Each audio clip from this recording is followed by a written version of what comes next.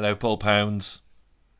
So there's things that go together incredibly well that might even suggest that they're by design rather than some fortunate accident. Fish and chips, Batman and Robin, Saint and Greavesy, and Les Edwards and horror.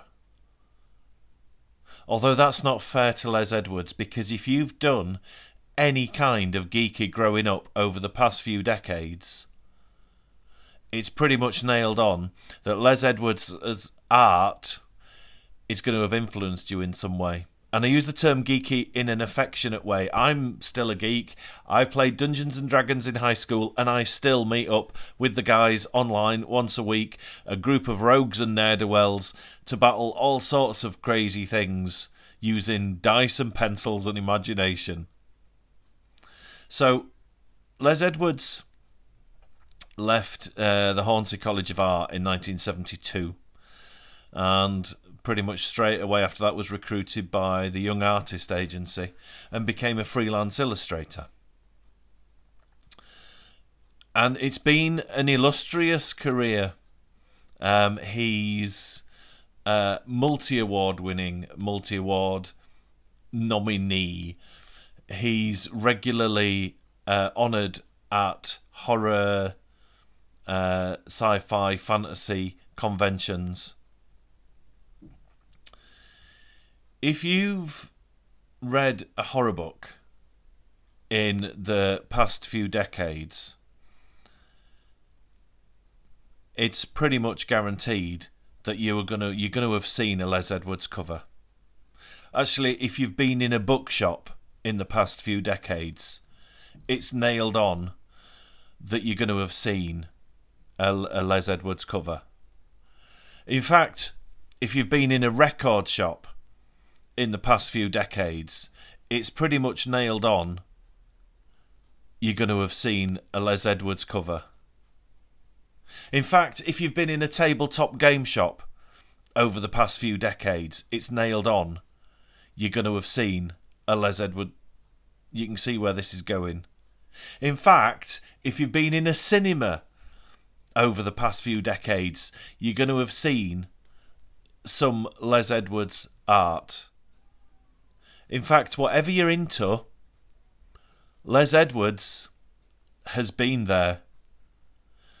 Gently catching your eye and working hard to convince you with one single amazing image that this is the product you want, this is the book you want, this is the game you want, this is the magazine you want, this is the LP that you want to buy. Doing his thing. And as an artist, that's what they have to do. And I can't think of, I want to say many people, but I'm going to say any artist that's done it quite as deftly as Les Edwards. Now, I would normally have a succession of book covers that I'm showing you at this stage, but I've tried to find the uh, the illustrations without the book title because a lot were reused uh, for completely different books. But each one perfectly fitted whatever it was being used for. So hopefully you'll be looking at uh, a parade of gorgeous and stunning book cover art, but maybe without the title and author. You can guarantee that Les Edwards' work is it's a stunning and beautiful detailed realism that's uh, both pleasing to the eye and disturbing to the mind a lot of the time. Um, but he demonstrates not just a technical artistic talent. A lot of his work holds uh, a sense of dread or a sense of excitement or a sense of revulsion. And even, and most importantly, I think, a lot of the time, a very, very dark sense of humour. That for a horror book lets you in on on the joke that's contained within the text that maybe isn't even funny, but as being party to that as readers, it aligns us with whatever horrible protagonist the story contains. So Les Edwards, as an artist, did a lot of portrait style work, like I said, as oil on board. And oddly enough, as Edward Miller, he uses acrylic on canvas more um, to conjure up beautiful landscapes, whole vistas. There's a lot of there's a lot of artists I aspire to. There's a lot of comic book artists I look at and try and emulate and uh, figure out their techniques for my own art.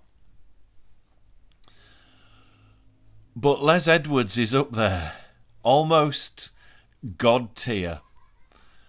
Partly because of the sheer volume of work that he has put out and partly because every single one of those pieces is perfect and beautiful and captures the stillness of mystery or the brutality of an axe fight. Growing up in the 80s,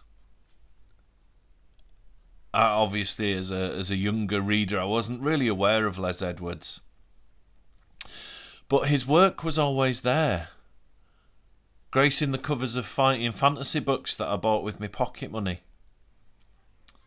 and older forgotten paperbacks from the seventies that I found in second-hand bookshops, right through to Guy N. Smith schlocky horror loveliness that was on book spinners in the post office and corner shop as I was a teen buying those.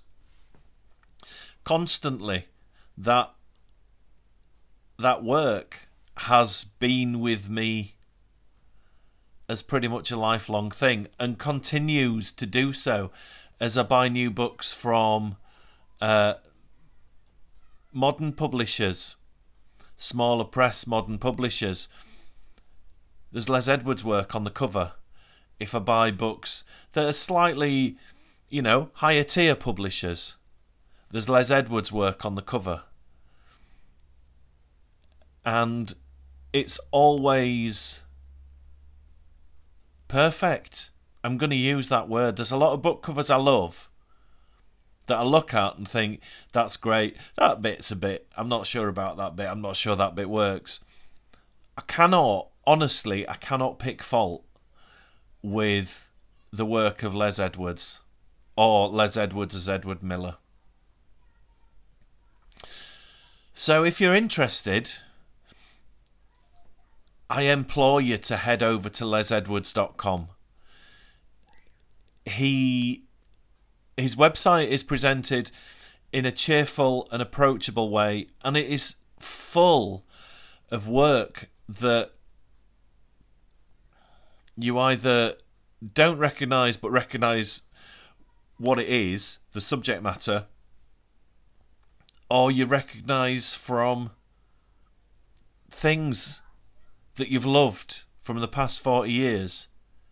I liken it to when I went to Legoland with my son in Windsor years and years and years ago.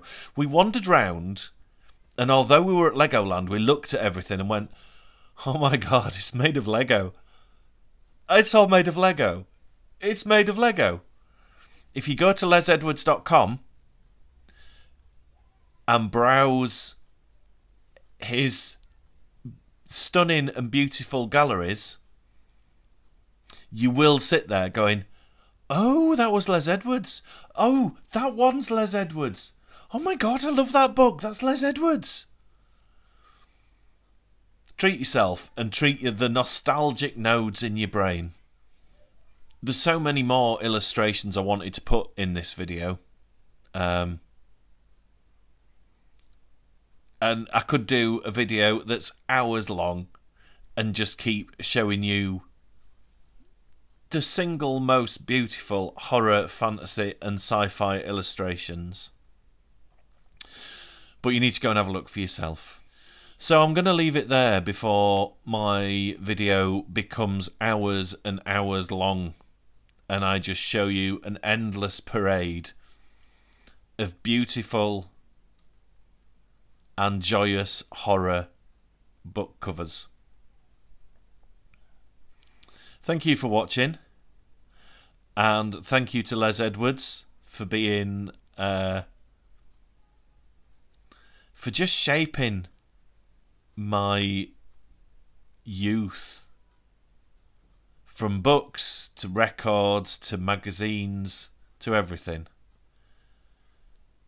It's funny when you start doing a video like this and you realise just what an impact one person has had. So thank you for watching guys and I will see you all in the next video.